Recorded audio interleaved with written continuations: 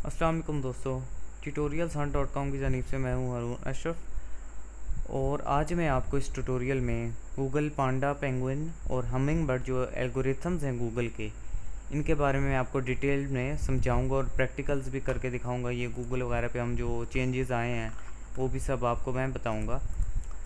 तो सो, इसके हवाले से मैंने एक प्रेजेंटेशन बनाई है तो उसे ओपन करते हैं और स्टार्ट करते हैं। बिसमीम पहले दे देता हूँ मैं short description about Google algorithms भाई, ये गूगल ने एल्गोरिथम्स क्यों डिज़ाइन किए और किस लिए डिज़ाइन किए?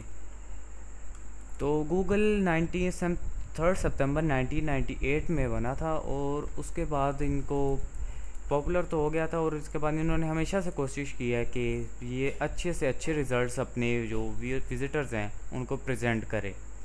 मीन्स अच्छा से अच्छा कंटेंट जो है यहाँ प्रेजेंट करें और सर्च को फास्टर करे और चलें अब गूगल पांडा पे हम सबसे पहले जो एल्गोरिथम है, उस पर हम, उससे हम स्टार्ट करते हैं और इसके बाद मैं आपको गूगल पेंगुइन का समझाऊँगा और फिर गूगल हमिंग बर्ड और एल जो मेन है, इसका लेटेंट साइमेंटिक सर्च जो कि न्यू है। तो गूगल पांडा से स्टार्ट करते हैं तो ये it was released by Google in February 2011 फरवरी 2011 में रिलीज़ हुआ था। ये गूगल पांडा का एल्गोरिथम और उसने 80 फ़ीसद वेबसाइट जो थी इंटरनेट पर उन्हें अफेक्ट किया। क्यों अफेक्ट किया? लो क्वालिटी कंटेंट था उनमें। कॉपीड और डुप्लिकेट कंटेंट था। वेब स्पैमिंग की हुई थी ओवर एस ऑप्टोमाइजेशन की हुई थी क्लोकिंग की हुई थी कीवर्ड्स एक्सेस इस्तेमाल किए हुए थे अच्छी रैंकिंग लेने के लिए। और अब मैं आपको सबसे पहले बताता हूँ कि लो क्वालिटी कंटेंट क्या होता है। अभी मैं आपको अपनी वेबसाइट का एक पोस्ट दिखा देता हूँ। मैं आपको फिर बताऊँगा लो क्वालिटी कंटेंट क्या होता है और हाई क्वालिटी कंटेंट क्या होता है। जैसे कि आप मेरी वेबसाइट देखते रहे होंगे, ये ट्यूटोरियल्स वन डॉट कॉम तो जब भी मैं कोई वीडियो ट्यूटोरियल बनाता हूँ, जो इम्बेड करने से पहले जो वीडियो ट्यूटोरियल होता है, उसको मैं एक्सप्लेनेशन भी देता हूँ आप लोगों को। अगर वो मैं एक्सप्लेनेशन ना दूँ, सिर्फ़ हेडिंग डाल दूँ, जैसे अब ये एक ट्यूटोरियल है complete free dot T K domain video tutorials in Urdu and Hindi sorry ये प्रॉब्लम लिंक है तो मैं इसे सही बोल नहीं पाया।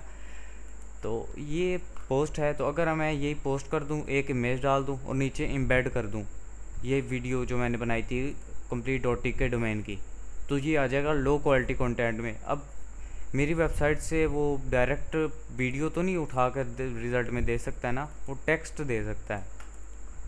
तो ये जो होगा लो क्वालिटी कंटेंट में आ जाता है तो अभी मैं आपको ये पोस्ट जो है वो खोल के दिखाता हूँ। मैंने ऐसा नहीं किया हुआ। अब ये देखें, अब ये मैंने पोस्ट किया हुआ है complete dot T K free domain video tutorials in Urdu and Hindi अब मैंने इसको पहले छोटी सी इसकी डिस्क्रिप्शन दी है डॉट टिक के डोमेन की। फिर इसके वीडियो ट्यूटोरियल्स दिए हैं। हेडिंग्स दी हैं उनके बाकायदा। और फिर आपको मैं नीचे दिखा देता हूँ एडवांटेजेस और डिसएडवांटेजेस क्या हैं डॉटी के डोमेन के। वो भी मैंने आपको बताए हैं। अगर मैं ये एडवांटेजेस डिसएडवांटेजेस वगैरह आपको ये ना लिखता और सिर्फ़ ये जो वीडियो ट्यूटोरियल्स हैं, इन्हें एम्बेड कर देता तो मेरी वेबसाइट लो क्वालिटी कंटेंट में आ जाती और ये गूगल जो है, उसे कैच कर लेता। गूगल पांडा सॉरी तो ये बाहर निकाल देता मेरी इस पोस्ट को। तो ये मैं बेसिकली आपको बताना था लो क्वालिटी कंटेंट के लिए लिखना आपने कीवर्ड्स भी अच्छे इस्तेमाल करने हैं, अच्छी रैंकिंग हासिल करने के लिए, और कॉपी और डुप्लिकेट कंटेंट का तो आपको पता है। कहीं से भी आप यही कॉपी जो है कंटेंट जो है, आप ये कॉपी करके अपने ब्लॉग पोस्ट में डाल दो तो वो कॉपी और कॉपी कंटेंट में आ जाएगा। तो ये पोस्ट मैंने पहले किया हुआ है, अब आपको इसको कॉपी करेंगे तो ये कॉपीड कंटेंट में आपकी वेबसाइट से आ जाएगी। अब अगर आपने चेक करना है फॉर एग्ज़ाम्पल अगर आपने कॉपी किया भी है, हुआ है किसी का कंटेंट मीन्स कुछ लोग होते हैं, अब ये कोई भी मेरा वीडियो जो ट्यूटोरियल है इसे सारा कॉपी कर ले और फिर सेंटेंसेस जो हैं सो बल्कि ये एक सेंटेंस है so now I have hunted a free domain which is dot TK अब इसको लाइनिंग चेंज कर दे इसे ऊपर डाल दे, कुछ वर्डिंग सिनोनिम्स इस्तेमाल कर ले तो फिर वो कॉपी कंटेंट में आ जाता है। अगर आपने चेक करना है कि आपकी वेबसाइट का कंटेंट जो है कॉपी कंटेंट मार्क हुआ है या नहीं तो इसके लिए ये एक पोस्ट किया हुआ है? How to check if your publish content is mark copyright और नॉट ये आपने ट्यूटोरियल ज़रूर देखना है। इसमें मैंने आपको लोगों को बताया कि आप कैसे चेक कर सकते हैं, आप गूगल ने आपको कंटेंट कॉपी मार्क किया है या नहीं। इसमें एक कॉपी स्केप डॉट कॉम है जो आपको वेबसाइट को पूरा स्कैन कर देगी और बताएगी अगर आपने कंटेंट कोई कॉपी किया हुआ है या नहीं। और इसके अलावा एक small S U tools dot com पर एक प्लेगरिज्म चेकर टूल है, जिस पर आपने यही आर्टिकल जो है आपने कॉपी करना है, फिर वहाँ पेस्ट कर देना है और फिर वो आपको स्कैन करके बताएगा ये जो आर्टिकल लिखा है आपने ये यूनिक है या नहीं। तो इस तरह आप अपने जो ब्लॉग पोस्ट हैं वो स्कैन ज़रूर कर लीजिएगा, वरना वो गूगल पांडा से पकड़ जाएँगे। और वेब स्पैमिंग में आ जाती है over S optimization cloaking keywords excessing मतलब अब ये है, इसका मेन कीवर्ड है जो जो अभी मैंने पोस्ट किया हुआ है complete dot T K domain अब मैं dot T K dot T K बहुत ज़्यादा डाल दूँ तो वो कीवर्ड्स एक्सेस हो जाएगा। थ्री परसेंट आपको कीवर्ड डेंसिटी भी जो है, वो अभी आपको याद नहीं लिख, रखनी चाहिए। अब ये डॉट टी का है पहले एक यहाँ यूज़ हुआ है, अब यहाँ मैं हर, बहुत दफ़ा यूज़ करता हूँ। हर लाइन में तकरीबन अगर डॉट टी के यूज़ करने लग जाऊँ तो वो फिर कीवर्ड एक्सेसिंग में आ जाएगा और फिर ये भी गूगल पांडा पकड़ लेगा। ये लोग ज़्यादा इसलिए करते हैं ताकि ज़्यादा कीवर्ड्स होंगे तो वो उनकी वो समझते हैं, शायद उनकी रैंकिंग अच्छी आ जाएगी। लेकिन ऐसा नहीं है। गूगल पांडा जो है basically low quality content copied और डुप्लीकेट कंटेंट और वेब स्पैमिंग वगैरह जो करते हैं मतलब हद से ज़्यादा बैकलिंग्स बनाना सॉफ्टवेयर के से बैकलिंग्स बनाना तो उन लोगों को ये जो है गूगल ने एक डिज़ाइन किया था और इसे इसने फिर फेबररी 2011 में बना रिलीज़ किया और 80 फ़ीसद वेबसाइट्स जो थी, वो इससे हार्म हो गई और मेरे भी कुछ ब्लॉग्स थे, उनमें मैंने कॉपी किया हुआ था विकीपीडिया से करके, उसके आगे पीछे करके कर दिया था। तो मेरे पास थाउज़ेंड विजिटर्स थे तकरीबन 2011 में तो जब कि गूगल पांडा की अपडेट आई तो उसने सारा तबाह कर दी मैं भी उसमें, मेरी वेबसाइट को भी बहुत डैमेज किया और बादशाहों से जैसे कहते हैं ना, बादशाह बैठे होते हैं। फिर जब जवाल आ जाता है, बिल्कुल वही वाला काम हुआ। तो सारी पूरी वेबसाइट जो थी मेरी तबाह हो गई। तो फिर उसके बाद मैंने ब्लॉगिंग ही छोड़ दी थी और अब मैं दोबारा ब्लॉगिंग में आया हूँ, एग्ज़ाम्स के बाद। तो ये मैंने एक वेबसाइट बनाई है, ट्यूटोरियल्स, और अब मैं इस लीगल तरीके से सही तरह काम कर रहा हूँ। पहले तो मेरे बहुत सारे थे ब्लॉग्स, और उन पे शायरी के कुछ रिलेटेड थे तो बस शायरी की पिक्स इंटरनेट से उठाई और बस सारी लाइन लगा दी। तो वैसा अब नहीं चाहिए क्योंकि गूगल अब ने अलगोरिथम्स डिज़ाइन कर लिए हैं तो आपने अब चौकन्ना रहना है। तो अब गूगल पेंगुइन की बात करते हैं तो इस पर आ जाते हैं तो it was released in April 2012 तो अब मैंने 2012 में भी ब्लॉगिंग छोड़ दी थी 2013 ये दो साल दो साल जो थे मैंने पढ़ाई पे लगाए, इसमें स्किप कर दिए थे। तो फिर मैंने दोस्त से पूछा, भाई, इसने कितनी फ़ीसद वेबसाइट्स को जो है डैमेज किया मीन अफेक्ट किया? तो इसका ये इसने ट्वेंटी परसेंट जो वेबसाइट थी इंटरनेट पे फिर, क्योंकि ये उन्हें इफ़ेक्ट किया, क्योंकि जब गूगल पांडा के हुआ तो तकरीबन एटी परसेंट उन्हें लोगों को सीधा कर दिया था तो फिर लोग सही इंसानों की तरह काम करने लग गए थे। तो फिर इसने जो बेसिकली किया तो कीवर्ड स्टफिंग को किया। अब कीवर्ड स्टफिंग की भी आपको मैं एग्जांपल दे देता हूँ बल्कि कीवर्ड स्टफिंग क्या होता है? अब मैं लिखता हूँ एक top S tips for bloggers 2014 यह मैंने एक पोस्ट है ब्लॉग का, ठीक है? अगर मैं इसे हटा के रख दूँ S tips top S tips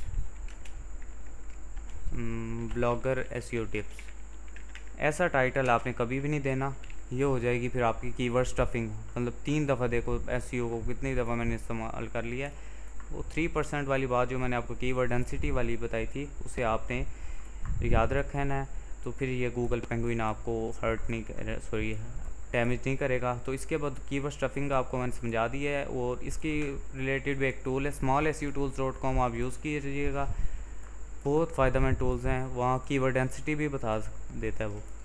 इसके बाद आ जाते हैं स्पैमी लिंक्स पेड और इरेलीवेंट कुछ लोग कहते हैं आप दस डॉलर हमें दें, हम आपको तकरीबन दस हज़ार बैकलिंक्स बना देंगे five to nine P R के दस पंद्रह बैकलिंक्स बना देंगे कुछ लोग वो सॉफ्टवेयर इस्तेमाल करते हैं।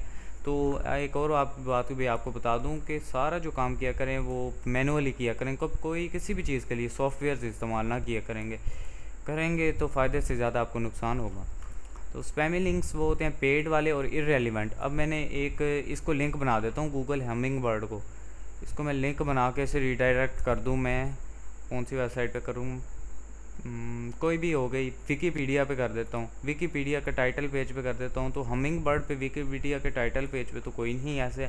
तो ये इरेलीवेंट लिंक हो गया और बहुत सारी रीडायरेक्ट्स जो हैं अब मैं एक पेज खोलता हूँ कोई भी ठीक है ना? आप ये top five cheapest domain name registrars खोलते हैं ठीक है ना? ये खोलते हैं तो पहले पोस्ट खुलता है फिर कोई और वेबसाइट पे रिडायरेक्ट होता है। ऑटोमेटिकल जो रिडायरेक्शन कुछ लोगों ने ऐड किए हुए थे उनको ही इसने पकड़ा है। मीन्स विजिटर्स को वो अनॉय करते थे। पेड और रिलेवेंट और क्लॉकिंग और डेंसिटी मीन हद से ज़्यादा कीवर्ड्स इस्तेमाल करना। थ्री परसेंट आपने थ्री परसेंट से ज़्यादा एक कीवर्ड को नहीं इस्तेमाल करना। आपकी डॉट टिके जो है एक कीवर्ड है तो इसे आपने तीन परसेंट से ज़्यादा मैंने इस आर्टिकल में इस्तेमाल नहीं किया। तो अगर आप ये टिप्स फॉलो करेंगे तो गूगल पेंगुइन गूगल पांडा वगैरह आपको नहीं डैमेज करेगा। इसने जो किया था एटी परसेंट किया था तो इसने जो किया है गूगल पेंगुइन ने हर्ट तो ये ट्वेंटी परसेंट था मीन्स गूगल पांडा से ये बहुत कम था। और एक और अपडेट भी आई है, पिछले दिनों Google panda four point zero, sorry, जी, Google panda four point zero, उस लोगों उस वो अपडेट आई है, उससे कुछ लोगों की ट्रैफ़िक इंक्रीज़ हुई है और कुछ लोगों की ट्रैफ़िक डिक्रीज़ हो गई है।